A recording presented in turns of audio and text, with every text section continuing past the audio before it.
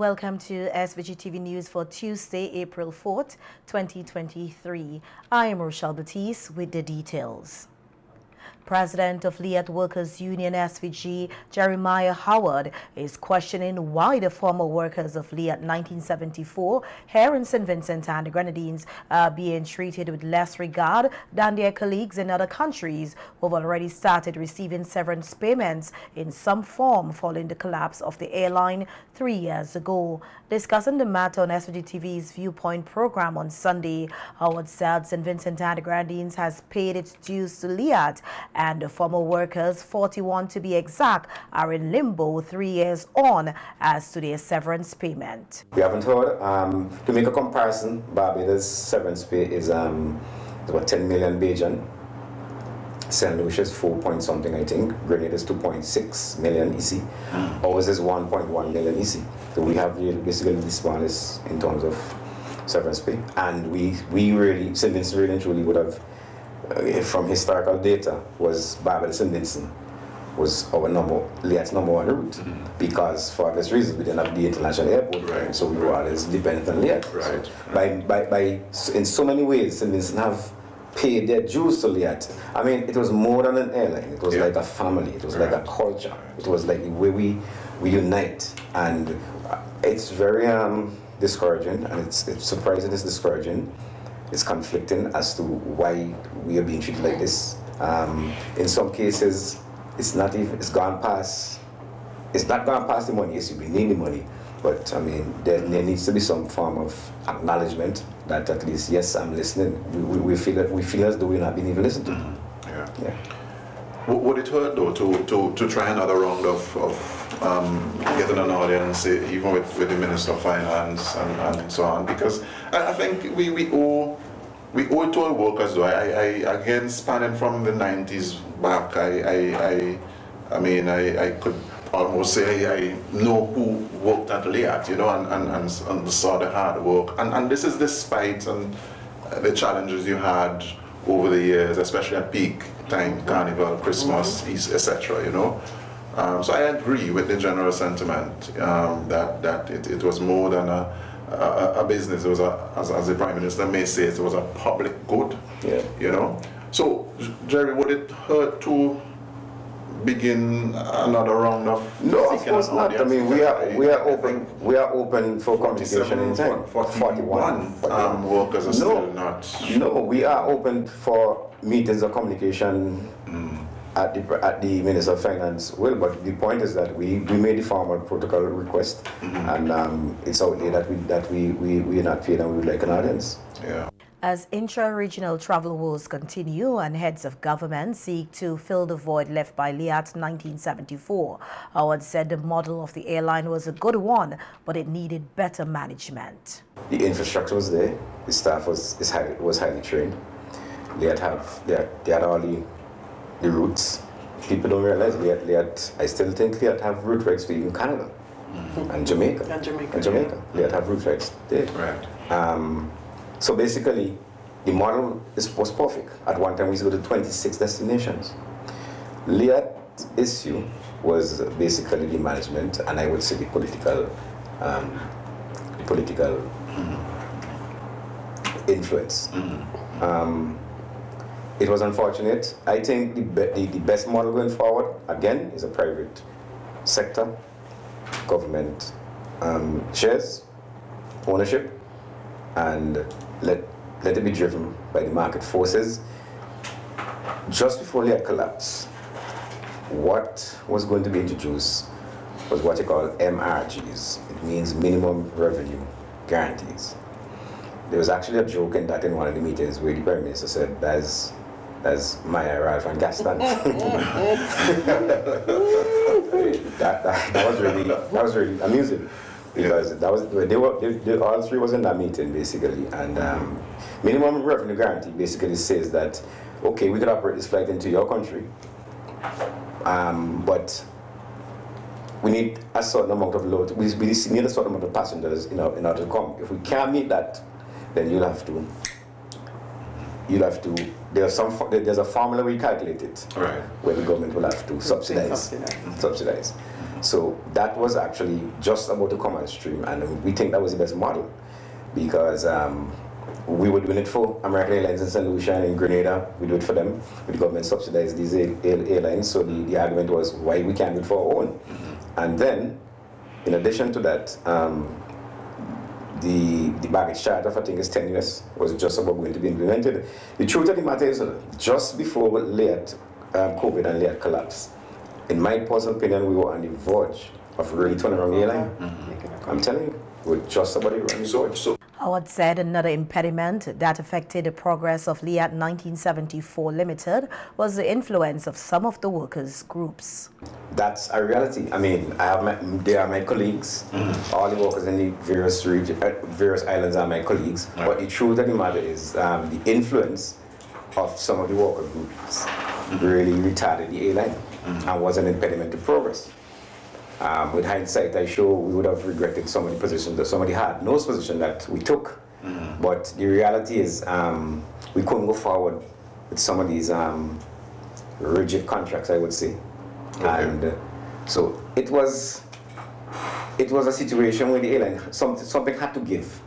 Mm-hmm. And COVID provided that opportunity. Mm-hmm. It's just that I still think it was handling the wrong way. Yeah, but but but isn't isn't it um, fair to say also that, that the, the, the institution had owed workers for quite a while and, and they had been agitating for what was due in previous periods. Oh, yes. Not just that they, and, and, and I suppose you could explain that agitation by that fact that, that they had been owed sub, substantial you amounts see, prior to, to those had. When you have a deficiency in management, you create yeah. an amount. And in itself created that kind of culture, the management itself. If you're weak in management in certain in certain places, mm-hmm. you know, you live in a vacuum.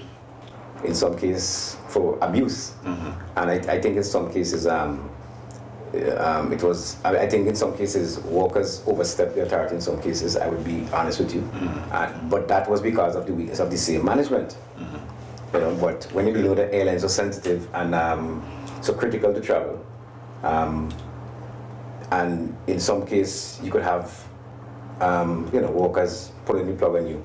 You have to keep a tread. Mm-hmm. But the main problem is it was the management of the airline right. that brought it to that. But the management is guided by a board. Addressing the issue of severance payment for former Liat workers here in SVG, Prime Minister Dr. Ralph Gonsalves on radio on Sunday said in 2020 he explained to the head of the Liat Workers Union that the government was unable to do anything about severance until the administrator indicated in a definitive way the things which Liat 1974 Limited cannot, cannot do and authoritatively for the administrator to sign off on what will be the workers' entitlement if Liat was not insolvent. The company is closed the company is insolvent. I was trying to tell the workers this all the time. And I'm not talking about the workers here, particularly the pilots and some engineers, well, some pilots, some engineers, some other persons who were not understanding the pressure that Liat was under and continued with some practices which were inimical to the company's welfare and and some demands which were inimical to the welfare. Eventually, Liat went the way of all flesh. And I'm awaiting, I've written, I'm awaiting final, what is the final position of the administrator in relation to all the matters. I had said that the government will give consideration to making um, whatever reasonable payments we may be able to make ex gratia because there's, there's not a legal right. And we see in the case of Antigua and Barbuda, Antigua, the Antigua government offered the Liat workers in Antigua um, 50% of what they would otherwise be entitled to if the company was not insolvent. PM Gonsalves said he is prepared to meet with a delegation of the workers' union sometime after the Easter holiday, noting that all commitments made to Liat workers still stands. They have not written to me about an audience, as far as I'm aware, since um, since 2020. I can't recall any any letter other than since 2020. What I do know, the leadership of the of the union um, sought to play partisan politics just before the 2020 elections. I don't have that against the workers at all, and I cannot. And the commitment that I gave, it still stands, but I want to have. And I'm prepared to meet a, a delegation of the LIAT workers, the, the former LIAT workers, anytime. But let the record also show that if you have something to write the Prime Minister about, you'd, you'd write you write a letter to the press. You tell me it's in Searchlight. huh? So no, no, no, no, no, no, no, no. You, you, they, they, they, no, you, you read what they, I, when they did in 2020, I called the, the, the, the gentleman who is the, who is the, who is the, the, the, the at that time the president of, of, of the LIAT workers. I don't know if he's still president. I don't know if the union is functioning. I don't know if the union is functioning. I don't know if the reports have been submitted to the to the labor commission as to their functioning as required under the law. I don't know, but I'm prepared to meet um, a delegation of the the the workers. PM Gonsalves noted that St. Vincent and the Grenadines played a crucial role in LIAT as a shareholder government from 2001 to 2020. In other news now, we hear that the St. Vincent and the Grenadines Teachers Union, the Police Welfare Association and the Public uh, Service Union held a joint Thanksgiving service last Friday, March 31st at the Wilson Hill New Testament Church of God under the theme, Our God is Greater. The service comes weeks after the High Court ruled in the union's favor against the government in the vaccine mandate case. Addressing the Thanksgiving service, opposition leader Dr. Godwin Friday said he admired courage of the affected workers in standing up for their principles. Senior education. It could not have been easy. Can't be easy because it continues. To be 15 months without your job, without an income, to catch a sketch can, as they say, and it continues. But you remain firm. And I want to say to the leaders of the unions as well, and the Public the Police Welfare Association. To the legal representatives, I admire your courage as well for standing for your rights and to do so peacefully within the bounds of our legal system, within the law, as we are required to do. Whereas the government, it has been proven by the court went way beyond the powers that were given to them by legislation and by the Constitution in taking actions that took away your bread, in forcing members to choose between your body and your bread.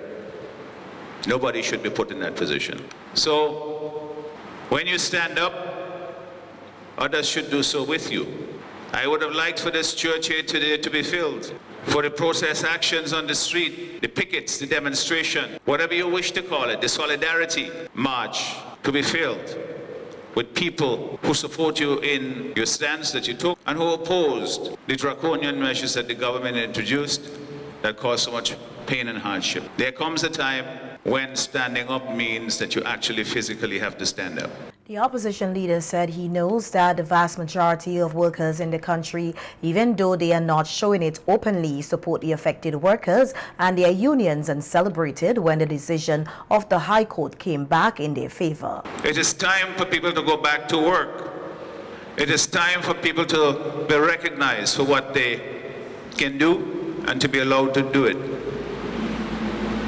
The taxpayers who are funding legal actions against those people who have been put out of a bread. They don't want government to spend their money on that. So, I believe that the majority of the people in this country are with you. Stand firm. We are with you, and we will stand firm. Your theme today, God is greater, it gives us hope that even now, that the right thing will be done and the contribution that the workers have made over the years will be acknowledged, that their value to our society acknowledged, that they be returned to work where the court said they never left, with all benefits intact. And yes, it will take some time to recover from what must have been a very painful blow for persons who have given so much. And one day you are the hero, and the next day you are discarded as though you're replaceable by someone who has just come out of high school. But the country needs you, and I know that you want to make your contribution. And the sooner we get to that place, it's the better for all of us. But the message has to be sent, because the course that we are on now is the wrong one. How do we, we reverse it? The people have to send that message, enough is enough. Also, at a Thanksgiving service, some of the workers who were affected by the vaccine mandate shared their experience on being off the job over a year now. Father Jesus, it has been very difficult. Thing like that. I remember at one point in time, I used to just ask a bathroom break, just to go in the bathroom and just let it go. And I would say, Father Jesus, just because of a vaccine, just because I didn't take a vaccine, all of this, what this is really for. And I know if it wasn't for Jesus, I wouldn't have been here today. Sometimes I'll come down. I'll feel, I'll feel sick, and I will get the support of like my friend. and I must say, I thank God for each and every day. It's a blessing for me and for every one of us who are unvaccinated, whether being vaccinated or not. Because everybody made their choice. I made mine, so people are supposed to respect my choice, just as well as I respect their choice. And I must say, Jesus, you've done it again. Jesus, you've done it again. You always take care of me when I don't deserve it. And I must say thank you and God bless everyone. I do not believe our experience is a mistake. I believe it had to have happened this way so that we would realize that God is our answer, not man. No man will ever be our answer every one of us. Subject to make mistakes and subject to doing things based on his own understanding. And scripture says that the fear of God is the beginning of wisdom. No matter how much book knowledge a man has, if he does not fear God, he is a foolish man. There was none of us that was working. I was the breadwinner in my home. So I took a stand not knowing how we were going to eat. But I know that every one of us have a testimony and it was during this period that the scripture became alive in my heart. It was during this time that the word of God came, came home to me.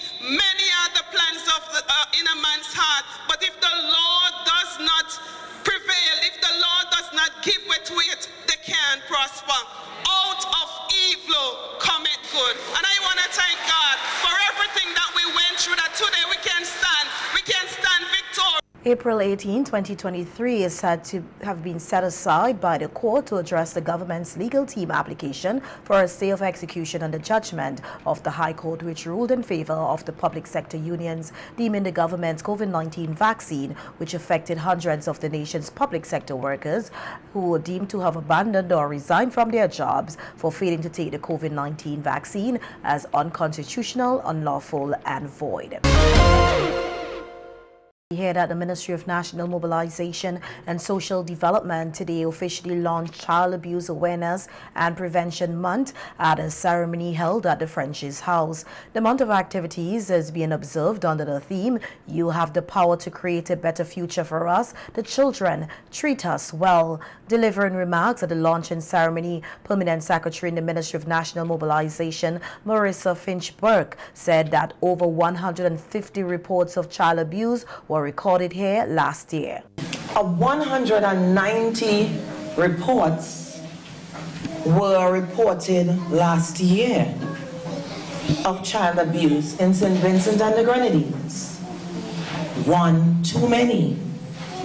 Yes, we have had higher numbers in previous years, but it is still one too many. That is why we are asking all of us as adults to treat our children well. we have had in 2022 43% of the reports of child neglect. Now, child neglect is always hardest to prove, but it is the one that is always underestimated because that is the one where a parent could actually not show love to you or they are leaving you without supervision. It could be a myriad of things. But 43% due to neglect. We also had 30% due to physical abuse. It therefore means that a child may have reported or a parent or another parent or another teacher or the hospital, the health system may have reported where the child has been beaten. Finch-Burke reminded the audience of the importance of creating positive role models for the nation's children. Treat the children well. And when we say well, it is about investing in their, their development, investing in their future, investing in their present, spending the time, quality time. And it's not just about as parents, even in our different environments, whether it is children spend the most of their time at school. So obviously teachers, nurses, etc., come into contact with our children as well. Persons who care for, for children are also, we also have to remind them. So I know that I, I don't wish to be longer, but I wanted to stress the importance of this month of activities. Now, as much as it is a month internationally celebrated, we need to do this every month, where we are reminding the public with regards to treating our children well. The PS further added that a mentorship program for boys will be launched later this week as part of activities being held to commemorate Child Abuse Awareness and Prevention Month. Tomorrow, the ministry continues this exercise by having another launch.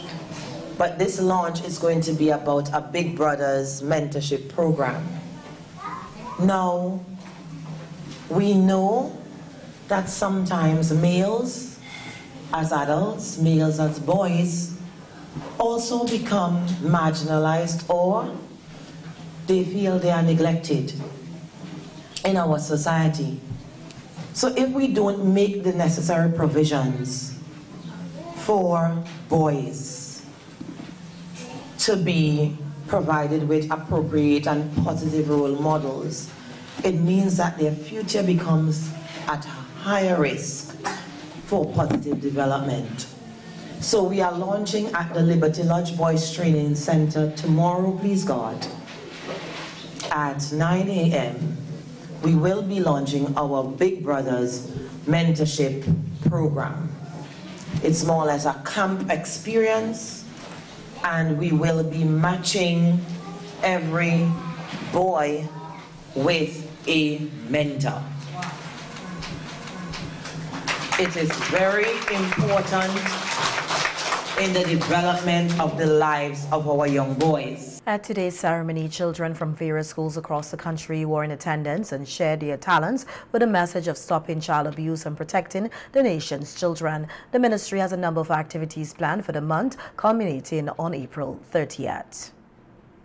After an absence of three years due to the COVID-19 pandemic and the eruption of La Soufrière volcano, the traditional Palm Sunday blessing of the Palm ceremony was held at the Central Market in capital Kingstown, followed by a procession on Sunday, April 1st, 2023. The activities form part of the Holy Week celebrations in which Vincentians are being encouraged to remember the three pillars, the commandment of love, the commandment of God, and the commandment to love our neighbors. Here is a snippet of the Palm Sunday Blessing ceremony at the Central Market in capital Kingstown last Sunday.